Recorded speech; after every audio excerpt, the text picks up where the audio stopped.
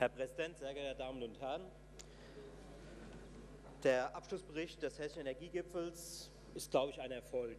Und äh, ich finde es sehr bedauerlich, dass an dieser Stelle doch äh, die eine oder andere kritische Äußerung zu dem gefundenen Kompromiss gleich wieder in den Raum gestellt wird. Das ist richtig. Die Linke hat nicht mitgemacht, das ist aber nichts Neues. Dafür hat sie noch äh, sozusagen relativ viele äh, Anmerkungen auf der Endbesprechung gehabt und, und am Ende nicht zugestimmt. Aber alle anderen haben zugestimmt. 30 Akteure haben dem Bericht zugestimmt. Und außerdem ist es so, dass es richtig ist, dass einige dieser Akteure, auch einige wenige dieser Akteure, auch nochmal die eine oder andere Fußnote abgegeben haben. Aber dann waren alle auf dem Foto und alle haben sich gefreut, dass dieser Energiegipfel zu einem Erfolg geworden ist. Und alle haben das gelobt. Und ich finde es sehr schade, dass an der einen oder anderen Stelle jetzt schon wieder versucht wird, sich dort zu verabschieden. Das ist nicht lauter. Und wenn man dann sagt, dass nach so langen intensiven Beratungen und einer Gesamtzustimmung zu so einem Bericht, zu so einem Ergebnis, dann nachher wieder hier dargestellt wird, als wäre das kein Erfolg und als wäre das viel zu wenig und als wäre das schon wieder an einer Stelle ein Problem. Ich stelle fest, es ist hier was gelungen mit dem, äh, mit dem Energiegipfel, was Ihnen jetzt nicht passt. Es passt Ihnen nicht, dass wir jetzt hier einen Konsens gefunden haben und Sie vielleicht nicht mehr die Möglichkeit haben, hier alles kritisch ähm, oder schlecht zu reden, was die Landesregierung macht. Und an dieser Stelle möchte ich jetzt, weil wir ja morgen die Generaldebatte führen, gar nicht mehr so tief auf diese Themen eingehen. Sie haben hier als SPD einen Gesetzentwurf vorgelegt, der wenige Punkte aufgreift. Wir haben 55 Empfehlungen im hessischen äh, aus dem Ergebnis des Energiegipfels in dem 20-seitigen Papier haben wir 55 Empfehlungen. Sie greifen hier vier Themen auf. Ähm, Sie sagen, das sind die Themen, die unkritisch sind und die im Konsens sind. Ich bin der Meinung, dass 55 Themen, die dort drin stehen, generell umsetzbar sind und umgesetzt werden sollten, weil die sind von der überwiegenden Mehrzahl der 30 Akteure des Energiegipfels für richtig äh, empfohlen worden.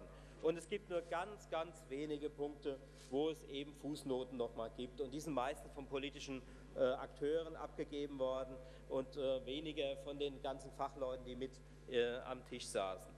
Ich möchte aber trotzdem jetzt, das haben die Vorredner ja weniger getan, äh, mal auf den Gesetzentwurf eingehen. Wir haben ja festgestellt, Herr Kremels, Frau Hammann, andere sowieso, äh, haben hier sich mit 121 HGGO abgearbeitet. Das steht ja hier gar nicht drin. Darin geht es ja bei Ihrem Gesetz. Da, darin geht, da, da, darüber steht doch hier gar nichts drin. Sie haben in diesen zwei Seiten, die Sie hier vorgelegt haben, haben Sie vier Punkte aufgeführt. Und das ist Ihnen, glaube ich, allen klar und den Vorrednern klar, dass das hier nicht das Resultat sein kann des Energiegipfels. Und das kann auch nicht die Energiewende entscheidend vorantreiben. Das ist, glaube ich, allen klar. Einer dieser vier Punkte, die Sie hier vorgelegt haben, beschäftigt sich mit Windkraft. Das, was die Landesregierung gemacht hat, sie hat sehr teuer viel Geld in die Hand genommen, eine Windkarte äh, für die regionalen Planungsversammlungen erstellt, die die jetzt in die Lage setzen, sehr genau und sehr erfolgreich Windenergie umzusetzen. Das ist entscheidend gewesen. Damit können die regionalen Planungsversammlungen sehr verantwortungsvoll sofort, sofort anfangen, entsprechende Voraussetzungen zu schaffen. Die müssen gar nicht auf uns warten, die können nämlich sofort handeln. Damit schrumpft sich das Papier schon auf viel, viel, viel weniger ein. Aber ich wäre jetzt unfair, wenn ich jetzt sagen würde, äh, das wäre jetzt alles Blödsinn, was da steht. Das ist gar nicht der Fall. Das ist gar nicht der Fall. Ich möchte nur sagen, man soll es jetzt bitte hier an der Stelle nicht überhöhen.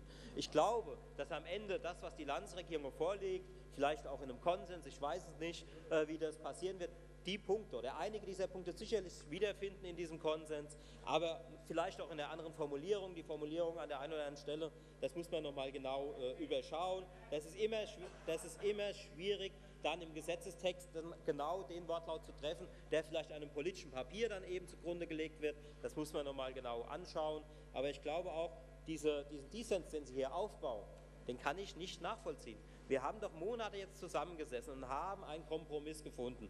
Und darum ist das hier, was Sie hier vorgelegt haben, es ist nicht sehr viel, das ist aber auch nicht unbedingt Ihre Schuld, aber das, was Sie vorgelegt haben, das werden wir diskutieren. Einige dieser Punkte werden mit Sicherheit auch Eingang finden in das, was die Landesregierung dann hier vorschlägt.